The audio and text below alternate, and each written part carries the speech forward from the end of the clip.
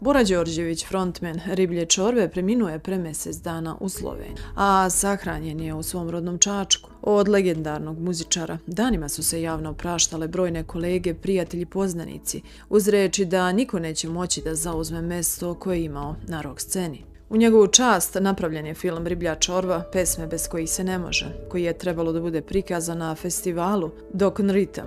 Međutim, organizatori su se oglasili i naveli da premijera je otkazana u posljednji čas. Kao razlog te odluke naveli su neslaganje autorske ekipe i Borine Udovice. Žao nam je što moramo da vas obavestimo da projekcija filma Riblja čorba, pesme bez kojih se ne može, koja je bila zakazana za večeras u Dorčel placu, neće biti održana, navodi se u saopštenju. Razlog leži u činjenici da se Dubravka Udovica Bore Đorđevića protivi projekciji. Ne znamo tačno zašto je tako, niti je dobra prilika da to utvrđujemo, jer sve još uvek sveže i možemo da razumemo da su emocije pomešane. Dužni smo, međutim, da kažemo da imamo Borinu pismenu saglasnost. Također pre izvršene ostavinske rasprave, gde nadležni sud odlučuje o pravnom nasledstvu, ona, čisto pravno gledano, nema mogućnosti da utiče na bilo šta.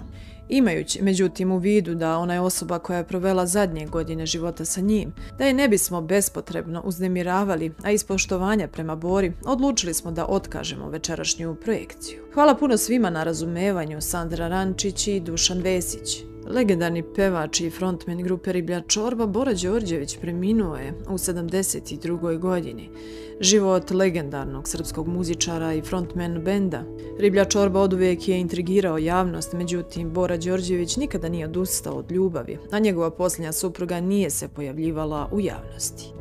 Nakon dva razvoda, Roker je pronašao sreću pored 28 godina mlađe Dubravke, zbog koje se preselio u Ljubljanu i koji je 2016. godine i oženio. Muzičar jednom prilikom je ispričao kako je upoznao Dubravku. Upoznali smo se u Kranju, zaljubili u Mariboru. Naš sljedeći susret bio u Banja Luci. Ljubavna je procvetala u Beču, a u Ljubljani smo se ozbiljno zavoleli. Tamo sam svratio na 2-3 dana a ostao celu nedelju. Upoznao nas je Srećo Lipovec, menadžer riblje čorbe za Sloveniju. Njegova čerka radila je u kozmetičkoj firmi, čiji je jedan od zastupnika za Sloveniju već 15 godina moja Dubravka, objasnio je Roker. Bori nije trebalo dugo vremena da shvati da želi da je oženi provede sa njom ceo život, a kako voli da kaže, ona je njegova posljednja ljubav. Bacio sam sidro u mirnoj ljubljani i mnogo mi je lepo sa Dubravkom, ženu koju voli. Imali veće sreće nego voleti i biti voljen. I što je najlepše, moja posljednja ljubav prihvatila je da se uda za mene. Ona će biti mlada i ja staroženja, tako me sa pravom nazvala. Venčali smo se 25. maja na dan mladosti u Grčkoj na Santoriniju, rekao je muzičar sve vremeno. Bora je jednom prilikom otkrio i da se trudi da sačuva privatnost, a ista kao i da njegova supruga izbegava da se fotografiše. Ipak jednom prilikom gostovala i to u grandu u emisiji, nikad nije gasno.